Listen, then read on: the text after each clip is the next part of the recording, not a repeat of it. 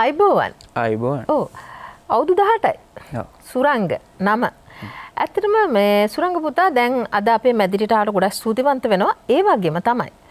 අද දවස්ති අපි මේ කතා කරපු දේවල් ඔයා ගොඩක් අහගෙන හිටිය. අපි කතා කරා මද්‍රවේවලට ඇබ්බැවීම ගැන සහ ඇබ්බැවීම විඩියෝ ගේම්ස් මේ හැම දෙයක් ගැනම අපි කතා කරා. ඔය ඇබ්බැවෙලායින වීඩියෝ ගේම්සල්ටන එකන අපි කතා කරමු ගොටිකක්.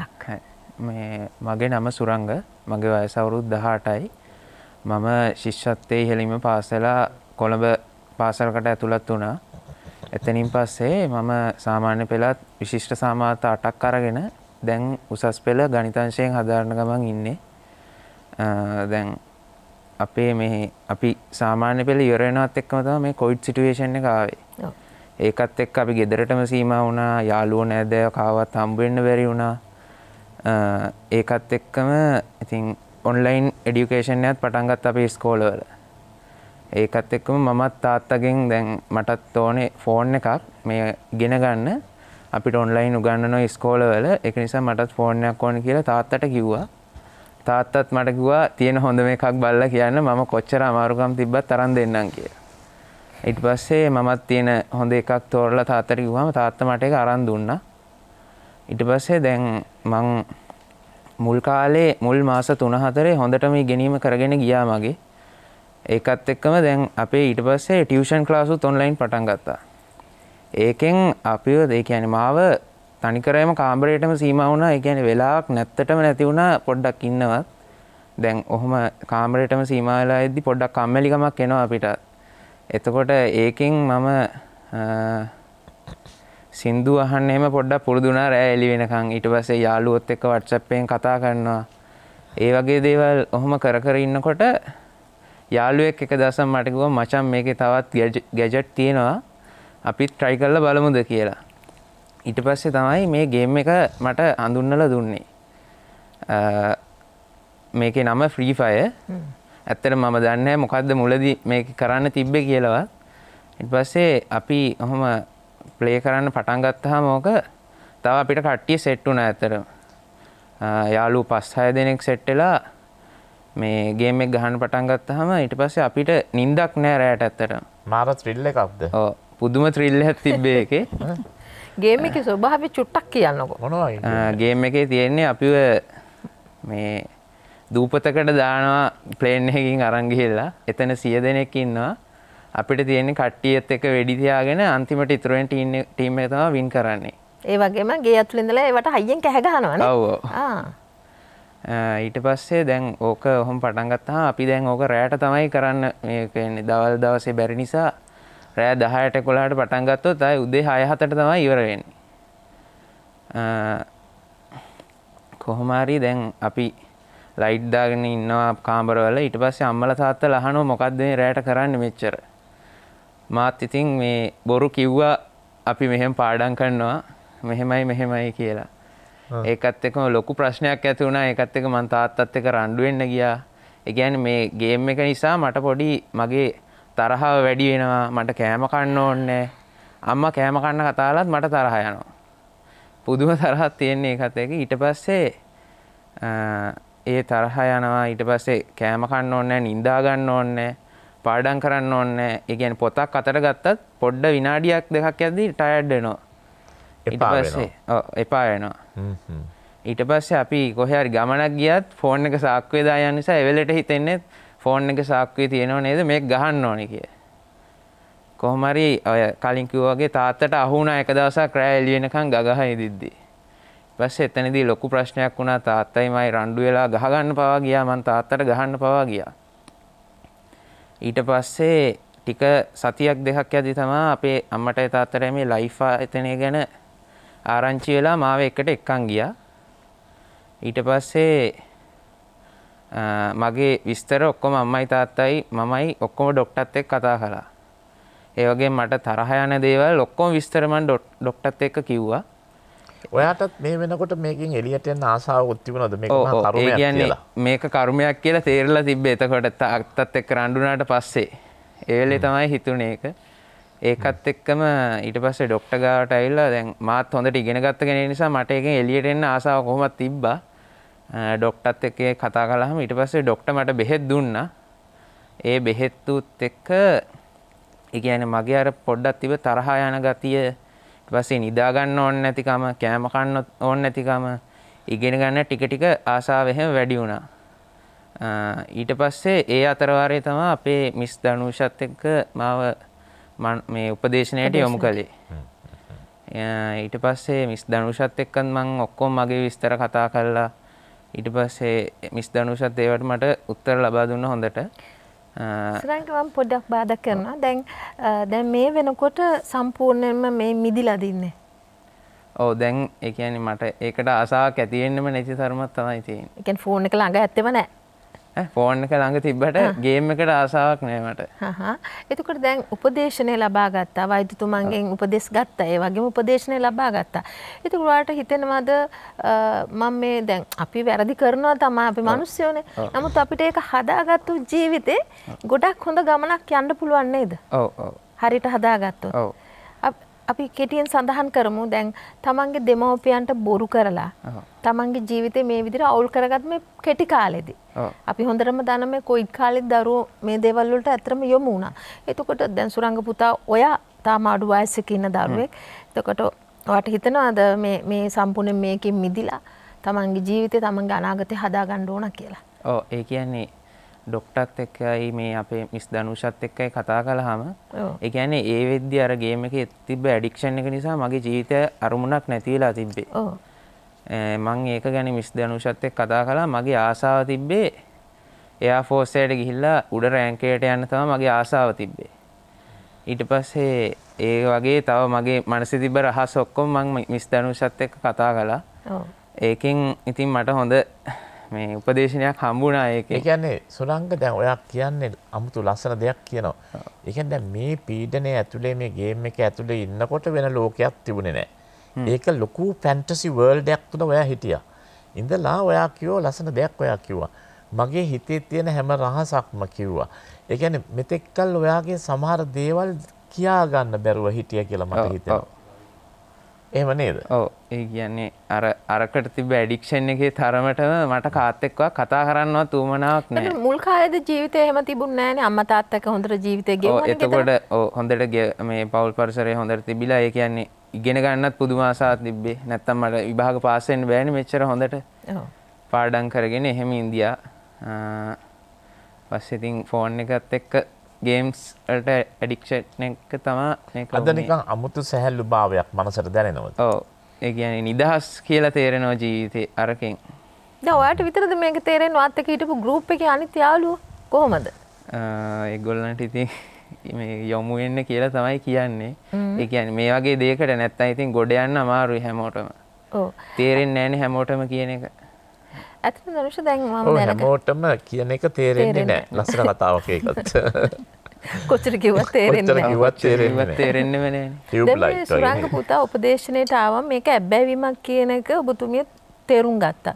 එතකොට දැන් මේ තත්ත්වක මුදව ගන්න ලොකු වෙහසක් දැරුවද ඇත්තටම? ඔව් නිලිමනී. මොකද මේ සුරංග අපි ගාවට එනකොට වේලවල් පන්ති හිටියේ සුරංග වගේම නිල්මිනි මේ දවස්වල ගොඩක් මේ වගේ දරුවෝ අපි ගාවට එනවා. ඉතින් මේ සුරංග ගැන කතා කරොත් සුරංග හොඳට ඉගෙන ගත්ත දරුවෙක්.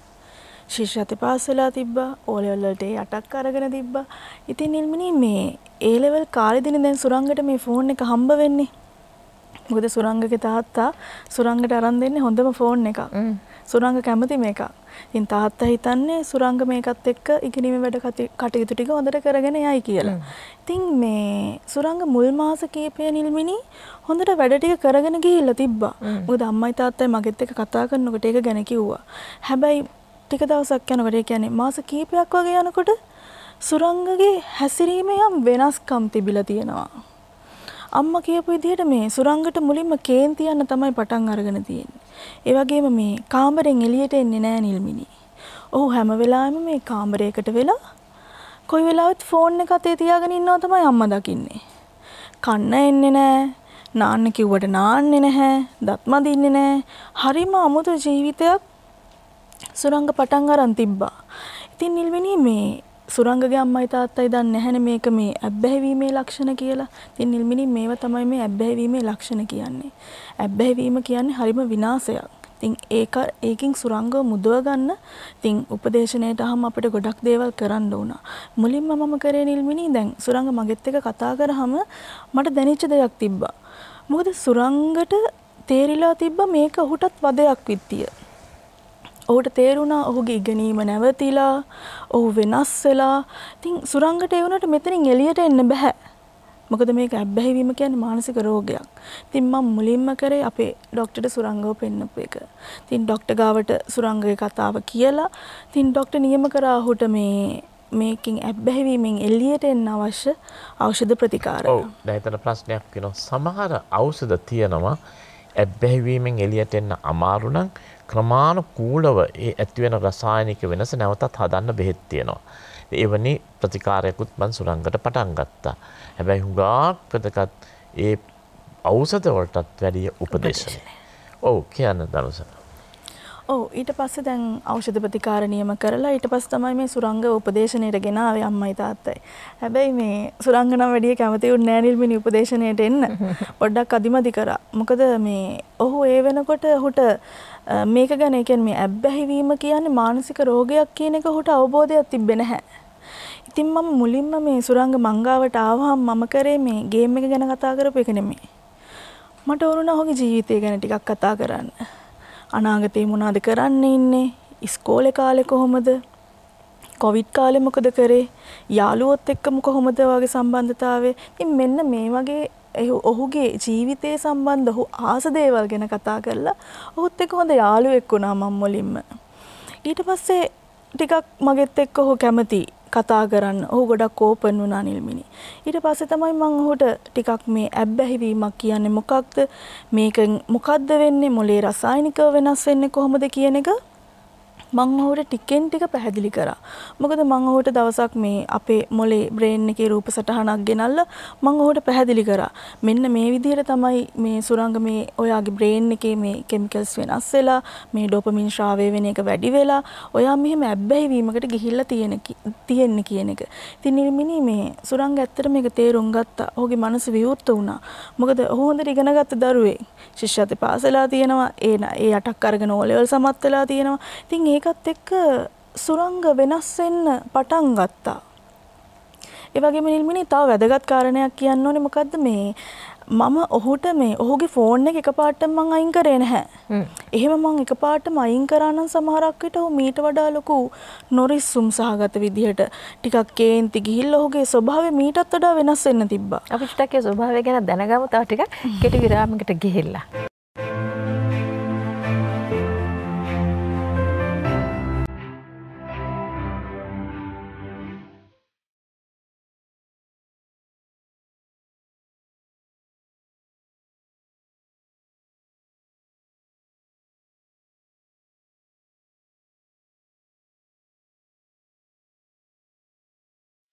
අප දැන් විරාමයට යන්න පෙර කතා කරේ දනුෂ දැන් ඇත්තටම උපදේශිකාවක් හැටියට ඔබතුමිය දැන් මෙන්න මේ මේ මේ වගේ දේවල් මේ සුරංග පුතාට උපදේශනේ මේ විදිහට දුන්නා කිව්වම මම හොඳට බලන් හිටියා එයා හොඳට ඒක පිළිගන්නවා. ඒක තමයි වැදගත්ම දේ. කොහොමද මේ තැනට ගත්තා දැන් ෆෝන් එක ගත්තා කිව්වා. ෆෝන් එක එක පාට ගත්ත නෑ කොහමරි ගත්තකෝ දුන්නද ෆෝන් එක. නිර්මිණී මෙහෙමයි මේ මම සතියෙන් සතිය තමයි ඔහුගේ මේ ෆෝන් එක පාවිච්චි කරන එක අඩු කරේ. මේ සතිය පැයක් අඩු කරනවා නම් ඊළඟ සතිය තව පැයක් පැය භාගෙන් භාගේ හරි අපි ටික ටික මේක ඔහුගෙන් අපි අයින් කරා. අයින් කරාගෙන අපි ගත්තේ නැහැ. ඔහුටම දුන්න ඔහුව කන්ට්‍රෝල් කරගන්න. ඒ වගේම නිල්මිණී මේ මම සුරංගට මේ සුරංග අපි ගාවට එනකොට ඔහුට තිබ්බ අරමුණක්. හැබැයි නිල්මිණී මේ ඔහු ඒ හැම අරමුණකින්ම පලා ගිහිල්ලා තිබ්බේ. කොහොමත් අපි දන්නවනේ ඇබ්බැහි වෙච්ච පුද්ගලයෙක් ජීවිතේ අරමුණු වලින් අයින් වෙලා යනවනේ පලා යනවා. ඉතින් සුරංගටත් ඒක තිබ්බා. ඉතින් මේ මට ඕන වුණා සුරංගගේ ගෝල්ස් අපි එකට මනෝවිද්‍යාව කියනවා ගෝල් සෙටින් කියලා. මේ ජීවිතේ ඉස්සරහට මොනවද කරන්නේ? ඉස්සරහට මොනවද කරන්න කැමති? ඉතින් මං සුරංගත් එක්ක ওই විදිහට එයාගේ ජීවිතයේ තියෙන දේවල් ගැන කතා කරා. අනිත් එක නිල්මිනී මේ තාරුණ්‍යයේ තියෙන ප්‍රශ්නයක්නේ. ගොඩක් වෙලාවට මේ තරුණ පිරිසට තමන්ගේ තියෙන අරමුණ හොයාගන්න බෑ ජීවිතේ. ගොඩක් හිතුවක්කාරයි. ඔව් හිතුවක්කාරයි. අරමුණ හොයාගන්න බැරුවත් ගොඩක් දේවල් වලට ඇබ්බැහි වෙනවා. ඇබ්බැහි වෙච්ච පුද්ගලයොත් ගිහිල්ලා අරමුණ හොයාගන්න බැරි වෙනවා. ඉතින් මෙන්න මේක නිල්මිනි දෙපැත්තක් තියෙනවා. ඉතින් මේ සුරංගත් එක්ක මම කතා කරා අවුරුදු දෙකකදී ඔහුගේ ජීවිතය ඔහු කොතනටද ගෙනියන්නේ. අවුරුදු පහකදී ඔහුගේ ජීවිතය කොතනටද ගෙනියන්නේ. මං ඔහුගේ මනස විවෘත කරා. මට ඕන වුණා මේ ඔහුගේ නැති වෙලා ගිය අර ඔහුගේ තියෙන ගෝල්ස් ජීවිතයේ අරමුණු අන්න ඒ වලට ඔහුව යොමු කරන්න. මොකද ඔහු බොහොම කැමැත්තෙන් ඉන්නේ මේ එයා ෆෝස් එකට ගිහිල්ලා හොඳ රෑන්ක් එකක් තියෙන නිලධාරියෙක් වෙන්න. ඉතින් මම ඒකට ඔහුට ගොඩක් උදව් කරා. ඔහුව මොටිවේට් කරා ඒකට. ඉතින් නිල්මිනි මේ ඒ වගේම මේ මොහුට තිබ්බ ගොඩක් කම්මැලිකමක්. මොකද මේ මංගාවට ඇවිල්ලා දැන් අපි සෙෂන්ස් වලට එනවනේ. එනකොට නිල්මිනි මේ මංගාවට ආවට පස්සේ ඔහු කියනවා මේ මට හරිම කම්මැලි. මට මේක කරන්න බෑ. ඉතින් මං ඔහුට මේ කියලා දුන්න කොහොමද මේ කම්මැලිකම නැති කරගන්නේ කියලා. ඉතින් කම්මැලිකම නැති කරගන්නේ කොහොමද කියලා කියලා දුන්නා. දැන් අපේ වෛද්‍යතුමා සමග සම්බන්ධ වෙලා මේ ප්‍රශ්නය කතා කරා. දැන් සුරංග පුතාට අවුරුදු 18යි. තව ජීවිතේ පටන් ගත්ත විතරයි. එතකොට ඉලක්ක කරා යන්න පුළුවන් කියන එක මා දැරිසේ විශ්වාස කරනවා. මොකද ඔබ කල්පනා කරලා හිතලා මේ මේ පුරුදු වලින් ඇබ්බැහිීමේ එළියට ගියා. බලාගෙන ඉන්න හිත ගාව බලාගෙන ඉන්න අයට දෙන්න පුළුවන් පණිවිඩය මොකද්ද? ඇත්තටම කිව්වොත් මේ වීඩියෝ ගේම්ස් වලට ඇඩික්ට් වෙනවා කියන්නේ ඒක මද්‍රව්‍ය වලට ඇබ්බැහි වුණා හා සමානයි.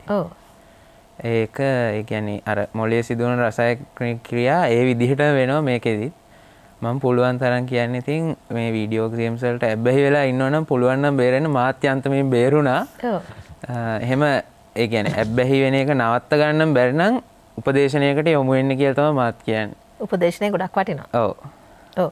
ඇත්තටම බේබි ස්තුතිවන්ත වෙනවා. ගොඩක් ස්තුතියි. ඒ කියන්නේ ඍජුවම ඇවිල්ලා අපිත් එක්ක කතා කරන්න සම්බන්ධ වුණාට ඒ වගේම ජීවිතේ මේ පොඩි කාලේදී මේ පොඩි වයසේදීම තේරුම් අරගෙන හදාගත්තට. වෛද්‍යතුමනි ඇත්තටම දැන් මේ මා හිතන්නේ මේ වගේ දරුවෝ මමත් සමහරකට ඔබතුමන්ගේ සෙන්ට් එකට ආවම මම දැකලා තිනවා මේ වගේ දරුවෝ පිරිවරාගෙන මේ දෙමව්පියෝ ඇවිල්ලා ඉන්නවා. සමහරක් දරුවන්ව මේ තත්ත්වෙන් ගොඩ ගන්න බෑ. ඇයි මේක මට කෙටියෙන් සඳහන් කරොත්? හැම එක්කෙනාම මේකෙන් එළියට ගන්න බැරි වෙන්න පුළුවන්. ඊට හේතුව ගෙදරින් ගෙදරින් අපි දෙමව්පියන්ගෙන් දගෙන සපෝට් එකත් හරිම වැදගත්.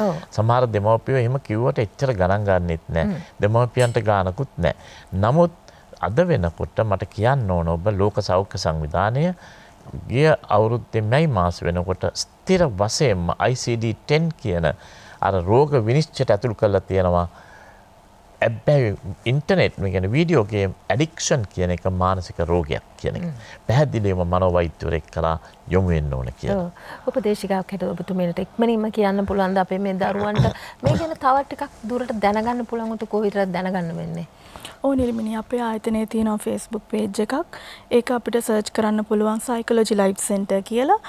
ඊට අමතර අපේ ඉන්ස්ට්‍රගෑම් පේජ් එකක් තියෙනවා. දරුවන්ට නෙමේ දරුවන්ට වැඩි හිටියොන්ට ඕනම කෙනෙක්ට. අපේ ෆේස්බුක් එක ඉන්ස්ට්‍රගෑම් පේජ් එක මේ අපේ YouTube එක. අපේ ඕන එකක් බලලා අපේ තියෙන පොඩි වීඩියෝස් ඒවලින් ලොකු දැනුමක් ගන්න පුළුවන්. තමන්ගේ ජීවිතේ වෙනස් කරගන්න පුළුවන් කියලා මං හිතනවා. ඔව්. වෛද්‍යතුමනි බෙහෙම ස්තුතිවන්ත වෙනවා අද දවස් සම්බන්ධ වුණාට වගේම උපදේශිකාව සුරංග පුතා ගොඩක් ස්තුතියි. ඔයාට හොඳ ගමනක් යන්න මම හදවතින්ම ප්‍රාර්ථනා කරනවා.